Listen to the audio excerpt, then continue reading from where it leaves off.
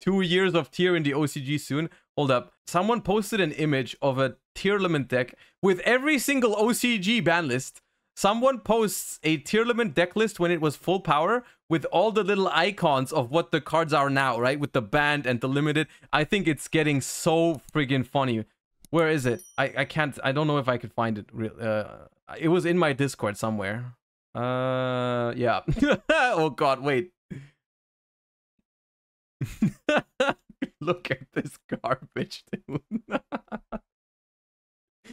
do you think do you think they um they design they designed Tearlament, Ishizu, and Kashtira like fairly? Do you think they were well designed? Looking back, like this is not even a year ago. Look at this shit. There is literally there are three different cards in the main deck that have not been hit on a ban list, and one of them is Maxx C. Maxx C, out of all those cards, according to Konami OCG, was the least problematic card. Maxx C was the least problematic card design out of these. so funny, dude. It's like everything, everything in this deck got slaughtered except for the two engine requirement trap cards and Maxi. it's like god damn dude. This is this is some true oh my god. The thing is at least at least they did go back. At least they did go back. At least they did realize hey what we did here maybe a little bit too much. this guy, this is so dumb, dude. It's so dumb. And it's still winning tournaments. Before the Fenrir ban, the, the, the most recent Korean WCQ was still won by Tearlaments. Which I still think that's outrageous. I don't understand. I don't understand this. But I, I'm genuinely confused how how this is winning.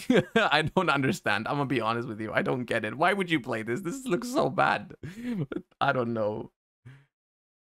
Like just but somehow it's still winning. Somehow they find all the other. Why wouldn't you play this? Okay, fair enough. fair enough. God damn. I can't believe I can't believe they're still leaving the Ishizu shit at one. I why would you not just get rid of that?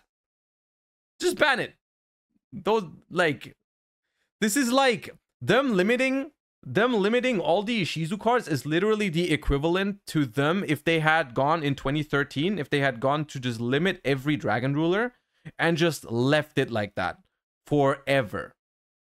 Which would have been a thing in a lot of formats since 2013. They did that initially, but then they were all gone.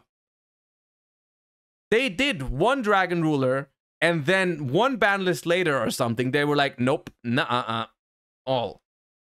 For Ishizu cards, I feel like they're just not learning. Someone, I feel like someone at Konami Japan is just really, really stubborn and really, really bad at at like, uh, like admitting their mistakes. There's like that one. You already know. There's like that one person at Konami OCG who's just like responsible for the Ishizu cards and they will just die on that hill that they are fine right they will just never they will like they will have the same i i imagine them having the same discussion every week they will talk about hey we need to talk about game balance and then like two people in the in the meeting are like can we talk about the shizu cards again and that guy will just get really offended and it's like no no they are fine at one. Absolutely okay. I will not take this slander. I made those. I'm very proud of them. They are perfectly designed and for some reason they have just they have the final say on the Ishizu cards.